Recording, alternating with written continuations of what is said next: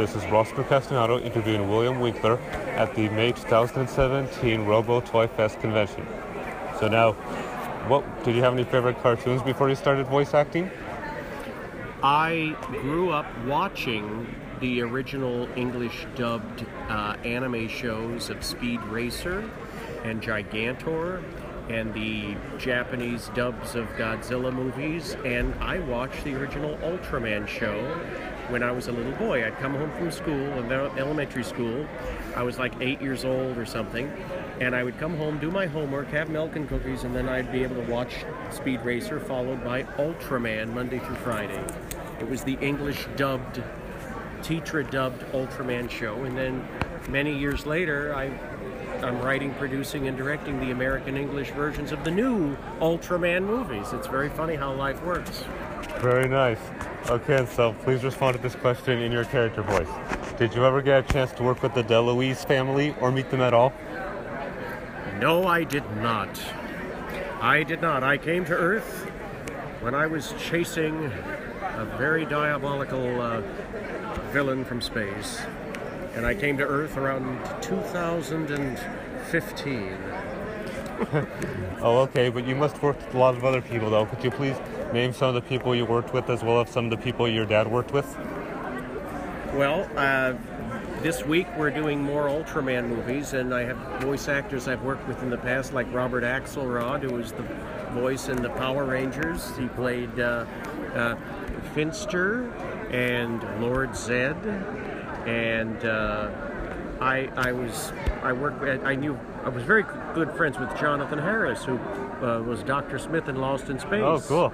And he and I always had lunch together, and he'd call me and he'd say uh, he'd call me up and say Willie Winky. Shall we have lunch tomorrow at the Hamburger Hamlet? very I nice. say, yes, I will. Yes we, yes, we will, Jonathan. He said, okay, I'll see you there tomorrow at 12 o'clock sharp.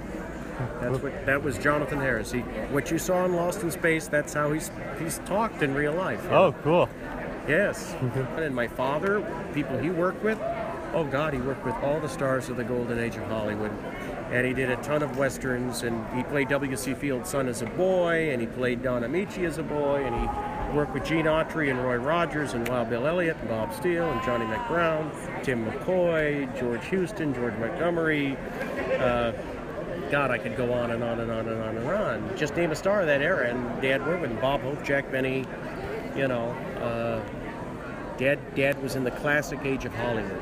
Cool. Cool. What was, did he ever tell you what it was like to work with Bob Hope and Jack Benny? He loved Bob Hope and he loved Jack Benny. And when he would rehearse the Jack Benny show, Jack Benny's wife, her name was Mary Livingstone. Right. They, she would serve milk and cookies to my dad, and I, they would rehearse in Jack Benny's home his residence. And then they would do the shows, and there was a show on the East Coast and show on the West Coast and such.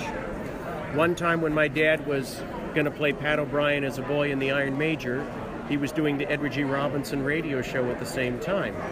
And Edward G. Robinson, uh, during the lunch break, there, there would be a break between the East Coast and the West Coast, and Dad went to dinner with Edward G. Robinson and his father, and uh, Edward G. Robinson said, Bobby, what are you working on? He says, Oh, I'm going to audition to play Pat O'Brien's as a, as a boy in the Iron Major tomorrow.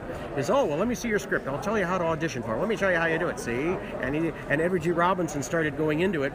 And so my father imitated what Edward G. Robinson did, followed Edward G. Robinson's advice perfectly, and then he landed the job of playing Pat O'Brien as a boy in the Iron Major. So when you watch that movie, my dad is playing Pat O'Brien as a boy, but what he's really doing is he's doing Edward G. Robinson doing Pat O'Brien as a boy. Ah, cool. How's that for a story? Totally. Very nice. And, and uh, you know, again, he worked with almost everybody in the 1930s and 40s.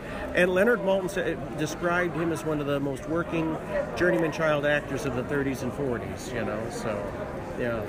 Very nice. And here's the last question. What was the first voice that you did? The first voice that I did. Uh, well, when I was a little baby, it would have been. no, my the first real professional voice that I did was the animation work would have been Tekkaman the Space Knight. Tekkaman the Space Knight, uh, animated by Tatsunoko Production Company, the company that did Speed Racer and Battle of the Planets Oh, cool. and Robotech. and that was syndicated in 1980, and it was syndicated all over the country, and uh, did very well, you know, and was sold on videotape. And at the time, it was VHS. There were no DVDs then, so.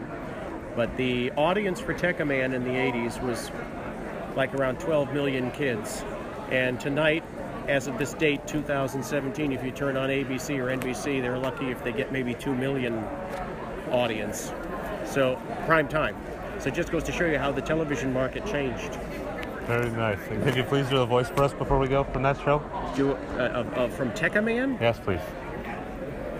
Well, I was kind of a young guy in that one. I can't remember exactly what I did, but it was sort of a, uh, you know, it was uh, it was that type of a younger voice. Yeah. I'm a little bit old. I'm 30 something years older now. I don't know. I'm better doing the Ultraman X voice. You see, it was very much. It was a little like Les Tremayne. I don't know if you remember. I do late- remember. I do remember him. Do you remember the late Les Tremayne? Yes, I do. Yes, that's sort of the way Ultraman X was, but a little less dramatic. See, very nice. Well, thank you for allowing me to interview you. You're welcome. Have a good day today at the show. Thanks. You too. Well, there you have it. That was Ross Castanado interviewing William Winckler at the May 2017 Robo Toy Fest convention.